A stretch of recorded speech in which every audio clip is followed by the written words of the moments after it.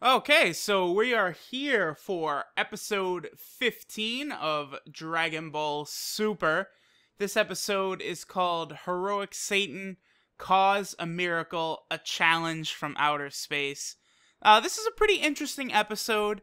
This is technically the first episode of the Resurrection F or Frieza, new Frieza saga, Resurrection Frieza saga however you want to say it, this is the first episode of that saga. We're now past the battle between Goku and Beerus, and now we are on a big time filler episode. Let me just get that out of the way right away. Yes, this this is a filler episode, but let's not let that stop us from having fun. This episode picks up with Goku and Chi Chi having, I guess, lunch because it, it is uh, daytime outside. And Chi Chi tells Goku basically that he, you know, he needs to get back to work and that Goku can't train. And Goku is like, "What? I'm in shape. I gotta, I gotta train. I gotta get as strong as Beerus." And Chi Chi tells Goku that all of the money has actually run out. All that money Goku got from Mr. Satan. And Goku is like, "What? Where'd it go?" But I guess Chi Chi spent all of it on the in preparation for Videl and Gohan having their baby. So Chi Chi is forcing Goku back to work. It cuts over and we see Gohan and Videl. You know, Gohan is being what looks to be like, you know, a good father slash husband. Videl's gonna cook dinner, but Gohan sits her down. He's like, no, no, I'm gonna cook, I'm gonna cook, I'm gonna cook, don't worry about it. Then they do show us uh, Vegeta real quick Vegeta is in like, you know, one of the old Dragon Ball Z locations, just like a desert or like a mountain area. And he's just standing like on top of this big mountain, just looking up into the sky. And he's thinking about how Goku surpassed the Super Saiyan God and he, you know, became above a god and was so strong.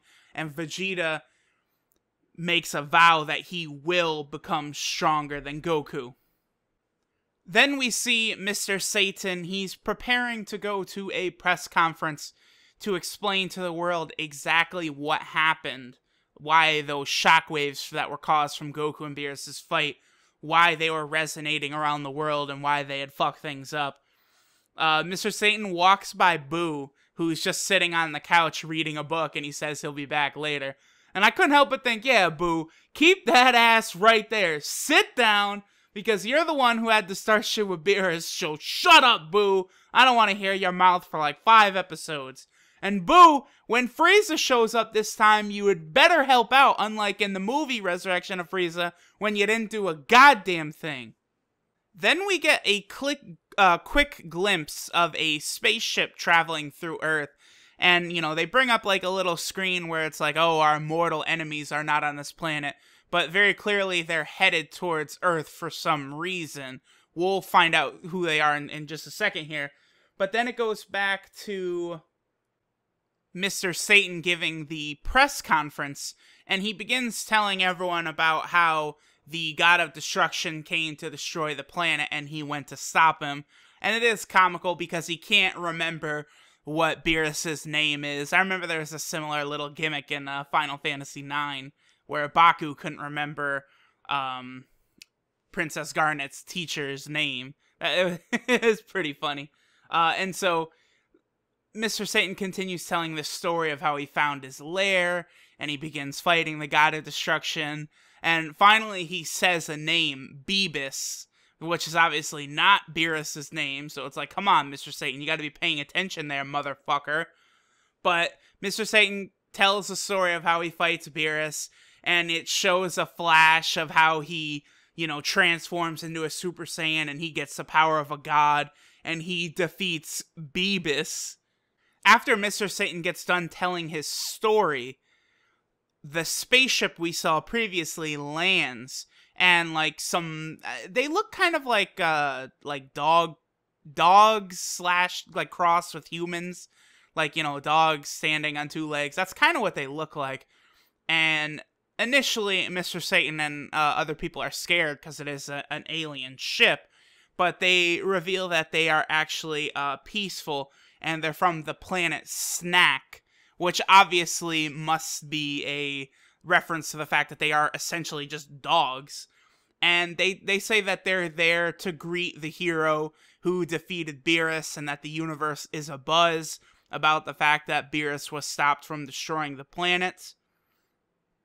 And they do like this really, really dumb, like, uh, they call it their greeting. Their, you know, and it's, it's just Akira Toriyama just being ridiculous like always. And then Mr. Satan says that he is the one who defeated Beerus.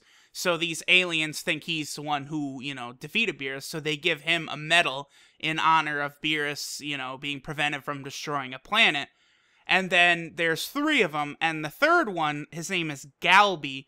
He wants to challenge Mr. Satan to a fight because he wants to see, you know, exactly how strong he is. And, you know, eh, we can't give over the medal until we're sure of his strength. Like, you know, yeah, okay, we've seen this type of thing over and over and over again. But of course, you know, Mr. Satan is not going to beat this giant alien in a fight. And so he sneaks off. He does the old Dragon Ball Z trick of saying he's got a stomach ache and he's got to go use the bathroom. And we see him in the bathroom, like trying to call up Goku, but no one answers at Goku's house. And he tries to call Vegeta, but no one answers at Vegeta's house.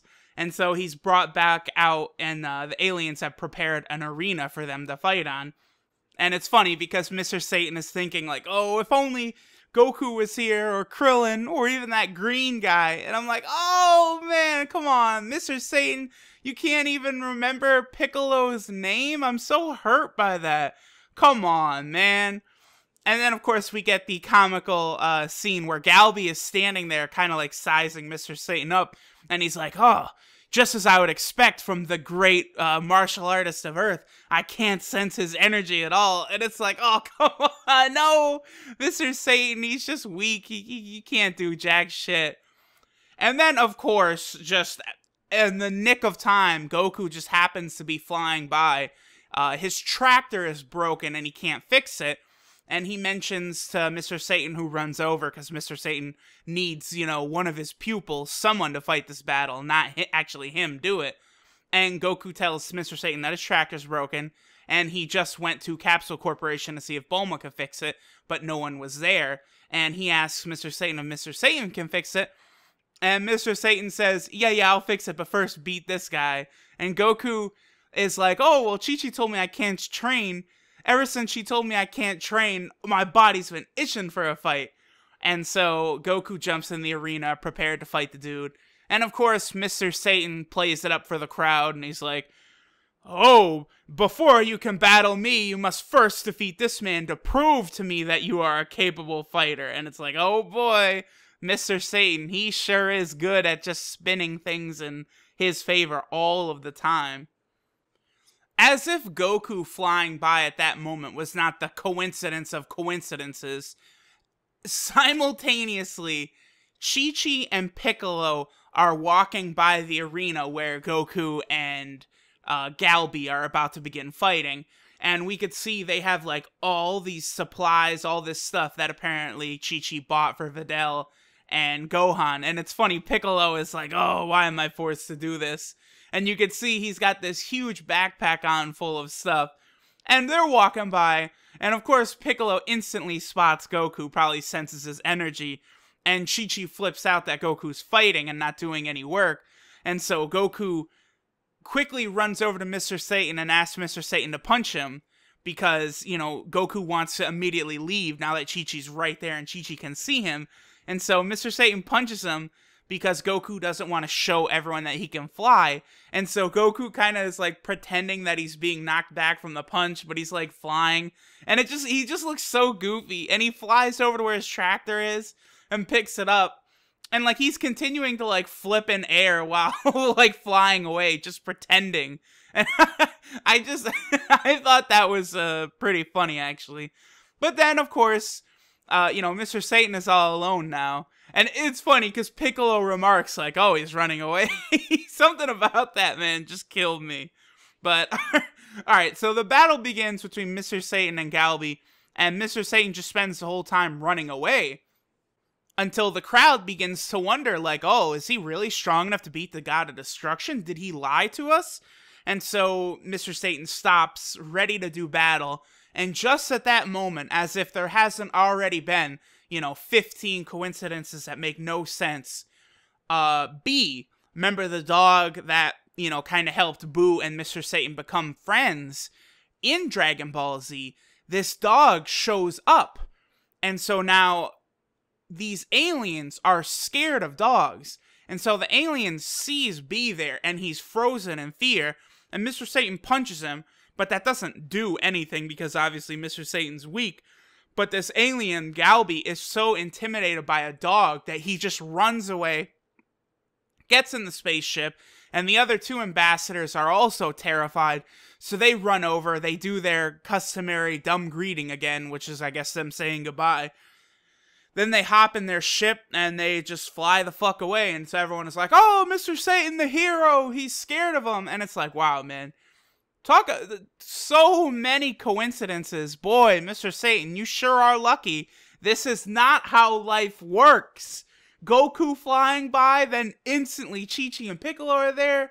Oh, hey, good thing he brought Bee with him. Like, just, just absolutely insane.